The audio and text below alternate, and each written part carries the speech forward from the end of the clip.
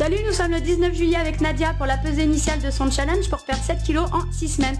Ça te paraît jouable Nadia Allez, je te laisse monter sur la balance.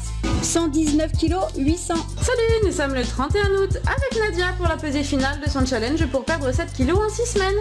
Ton poids initial était de 119 kg 800, tu dois donc être à 112 kg 800. Je te laisse monter sur la balance 112 kg 400. Salut à tous, nous sommes le 19 octobre avec Nadia pour la pesée finale de son challenge pour perdre 7 kg en 6 semaines. Ton poids initial était de 112 kg 4. Je te laisse monter sur la balance Nadia. 103 kg 6. Salut, nous sommes le 14 décembre avec Nadia pour la pesée finale du challenge pour perdre 7 kg en 6 semaines. Ton poids initial était de 103 kg 600, il faut donc que tu sois à 96 kg 600. Je te laisse monter sur la balance. 95 kg 700.